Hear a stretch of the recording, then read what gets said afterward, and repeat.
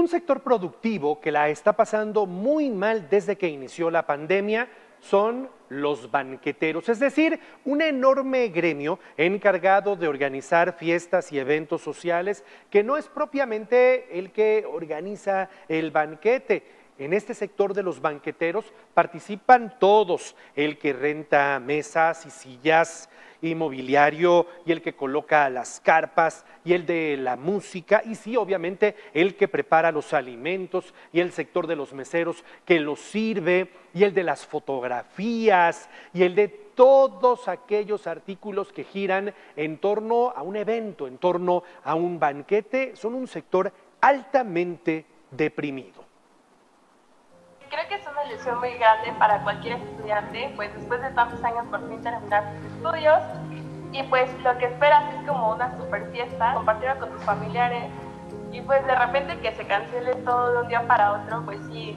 se siente muy feo, la verdad. Miles de estudiantes de la generación 2020, como Angélica, perdieron la esperanza de cerrar con broche de oro una de las etapas más importantes de su vida. La pandemia de COVID-19 frustró cualquier posibilidad de celebrar su graduación.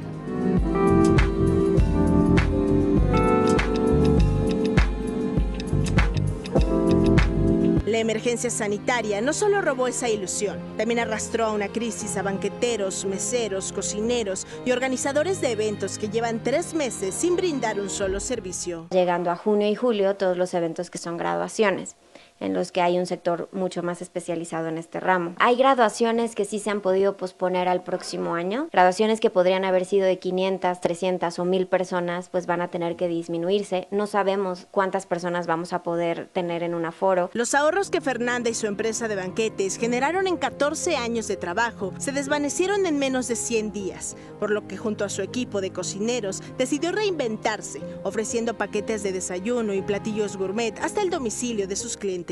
Aquí ha sido prácticamente vivir de ahorros. Fue el tema del Día del Padre y Día de la Madre, entonces ahí vendimos paquetes especiales.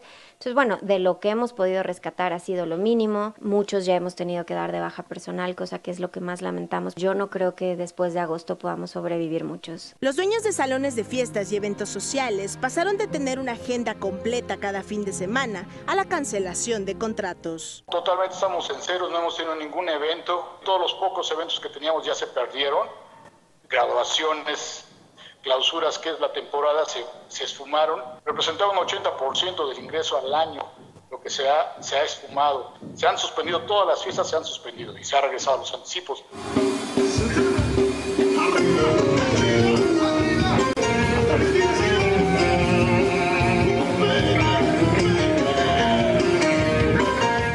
Musicales y animadores tampoco saldrán bien librados al final de la cuarentena. Priscila es organizadora de eventos, decora, anima y realiza cualquier detalle a gusto del cliente. Sin embargo, la situación actual no ha tenido consideración de su negocio. La verdad es que una situación muy difícil porque estábamos acostumbrados a tener un ingreso cuando empezó la pandemia es una época en la que todos, todo el sector, toda la industria del entretenimiento y de los eventos tenemos mucho trabajo. Sin duda hemos tenido una gran pérdida en cuanto al personal, que por ahora no contamos con personal porque no tenemos manera de contratarlos y pues obviamente el ingreso económico. Para salir adelante, Priscila migró temporalmente a dar servicios a través de los medios digitales. A ver, Héctor, dime, ¿qué es lo que más extrañas comer o tomar en el estadio? Semita. Una semita, claro que sí. A ver, tenemos unas semitas.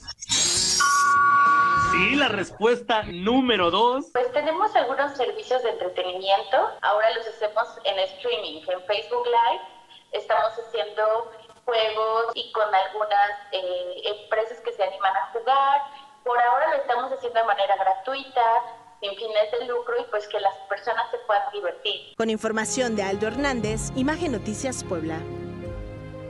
Y es un sector muy noble el de los banqueteros. Finalmente, ellas y ellos, en cualquier dimensión en la que se encuentren, en cualquier segmento de este amplio sector, los que tienen el salón de fiesta o los que sirven los alimentos, los que preparan las bebidas, viven, trabajan para que uno se divierta.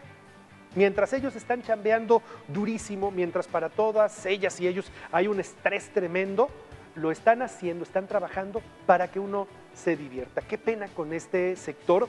Le vamos a platicar en unos días más cómo va a cambiar diametralmente la manera de hacer eventos aquí en México una vez que esto empiece a pasar. Ya hay planes, ya hay estrategias, ya hay medidas y bueno, la forma en la que usted conocía la, manera tradicional de desarrollar un evento va a cambiar totalmente.